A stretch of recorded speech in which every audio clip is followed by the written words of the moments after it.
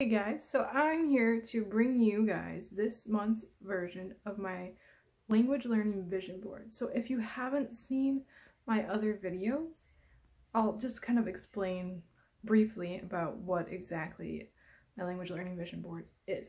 So it's like a normal vision board, but every month I pick a language that I want to improve most in or have the most like goals or things I want to do the most in with that language. Not that I don't study the other languages that I'm working on. It's just this one, the one that I pick for the month, is sort of what um, I want to do the most improvements in.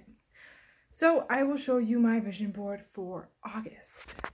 Alright, so here is my overall vision board for August 2019. So this month, as you can see, I didn't just decide to focus on one language. I thought that I had um, a good amount of goals and things I wanted to do in each language that I wanted to concentrate on all of my priority languages.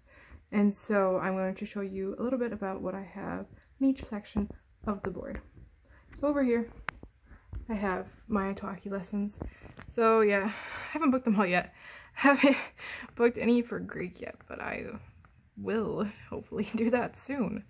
So I just kind of put, you know, the dates, the times for each language, Italian, Spanish, French. And then over here, I got some new stickers.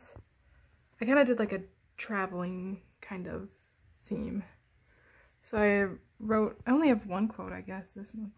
So I put, La vita è come una fotografia, se sorridi viene meglio. Then I have my reading list. I didn't write down any of the podcasts that I wanted to listen to this month because I felt like I would have a long list. So I just wrote my reading list. So I have one book for each language. I have Piel de Agua for Spanish, and then Percy Jackson.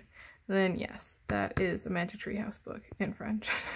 my French needs a lot of improving. I'm hoping to meet a lot of my goals this month with French. I have the most probably for French, but I have a good amount for Spanish. And I would say the usual amount for Italian.